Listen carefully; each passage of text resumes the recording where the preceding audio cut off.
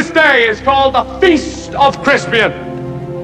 He that outlives this day and comes safe home will stand at tiptoe when this day is named, and rouse him at the name of Crispian. He that shall see this day and live old age will yearly, on the vigil, feast his neighbors and say, Tomorrow is St. Crispin's. Then will he strip his sleeve and show his scars and say, These wounds I had on Crispin's day. Old men forget, yet all shall be forgot, but he'll remember with advantages what feats he did that day.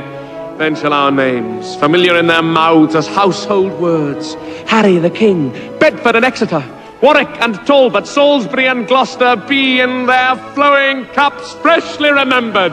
This story shall the good man teach his son, and Crispin Crispian shall ne'er go by from this day to the ending of the world, but we in it shall be remembered. We few,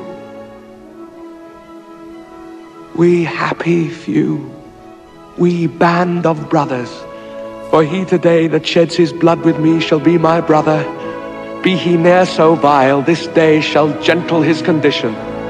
And gentlemen in England now abed shall think themselves accursed they were not here, and hold their manhoods cheap, whiles any speaks that fought with us upon St. Crispin's Day!